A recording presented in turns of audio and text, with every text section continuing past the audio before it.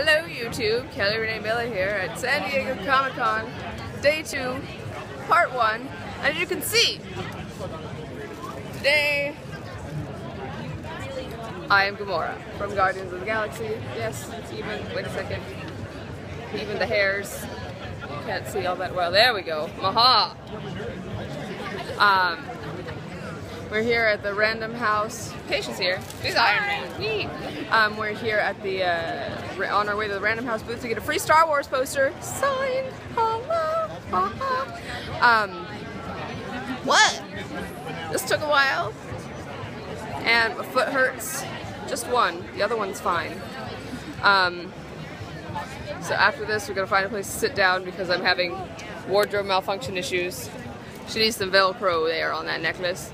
And uh, then we're going to see what else is going on today. There's uh, some Smiles for Smiles going on at Nerd HQ. There's a Mixer, Fashionably Nerdy uh, cocktail hour at 5 o'clock. Um, and yeah, beyond that, we're going to be geeking out all day. Comic Con, San Diego Comic Con 2015, day two.